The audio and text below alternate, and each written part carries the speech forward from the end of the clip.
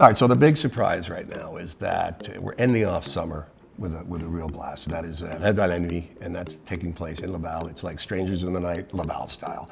Uh, lots of restaurants from Laval. Uh, we're looking at Roch Voisine, Michel Pagliaro, the Boogie Wonderband, Pierre Perpall, uh, Nancy Martinez, all performing live, and it's going to be a huge party under tents again.